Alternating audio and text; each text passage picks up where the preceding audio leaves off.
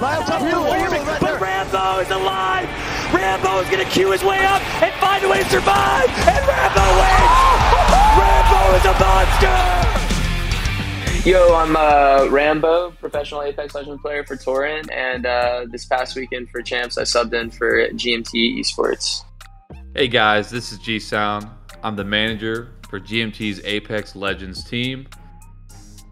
Is that all? What else do you need? it started out with our our player Max Strafe, who lives in the Ukraine, who still cannot get out of the country due to the war going on there with Russia. And so step one was finding out, you know, a few weeks before the tournament that hey, there's no possible way for Max Strafe to make it. We rung up Matey, who was our sub when we went to Sweden.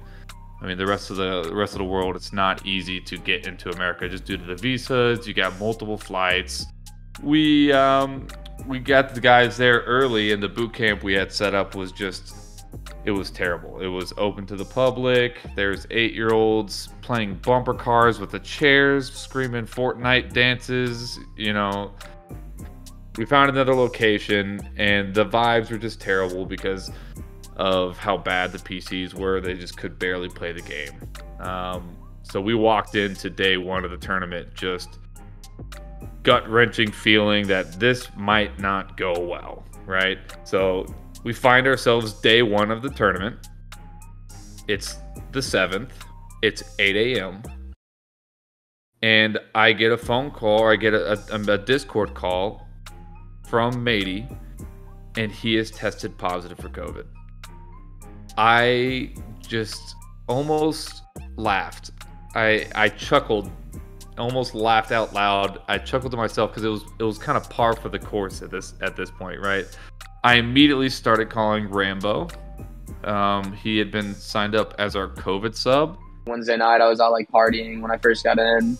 Uh, Thursday morning came and I was like feeling a little little foggy, and uh, my phone like started to blow up.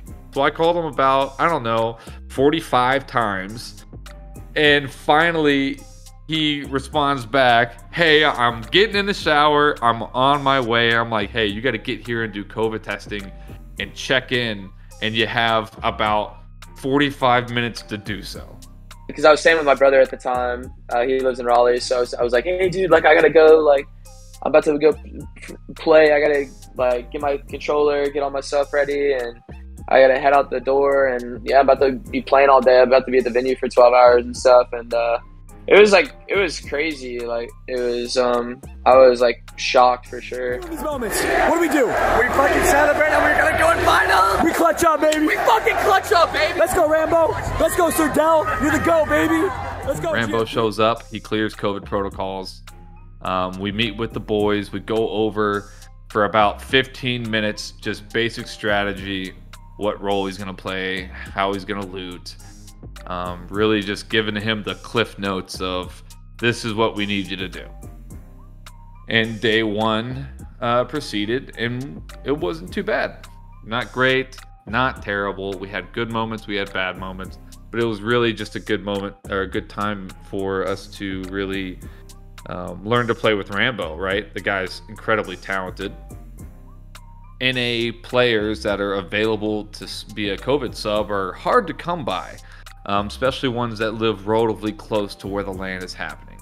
He was a, a no brainer for Nask, and um, whenever we met him, it became clear immediately because of the type of person he is, um, as far as attitude and personality goes.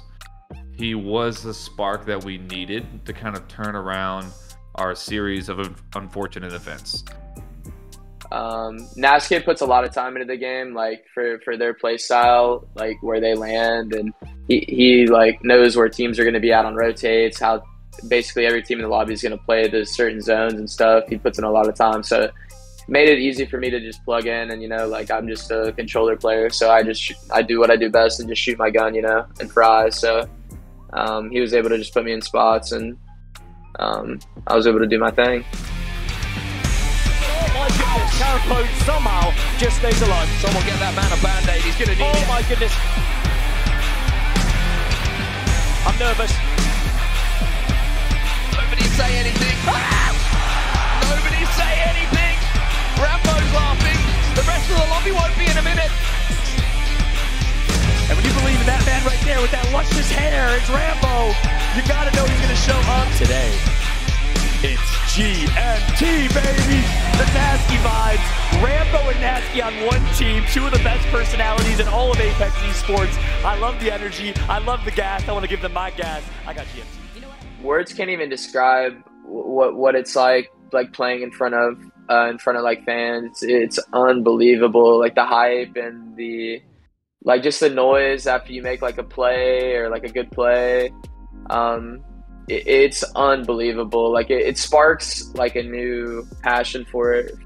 And that energy stuck with us throughout the rest of the tournament. I mean, the belief and confidence and heart that this team showed I it, was everything, and it was the only thing that mattered because our the skill level is so close together with all these players up on the stage. It's really about the mental strength carried us through the finals and into this with the fifth place. So, I mean, Rambeau is uh, I consider him a brother of mine now, and I I've known him for, for five days, and um, really it was just a, an exceptional experience that I would go back and do again a million times over. Yeah, that that feeling we had on stage, I mean, it was just electric.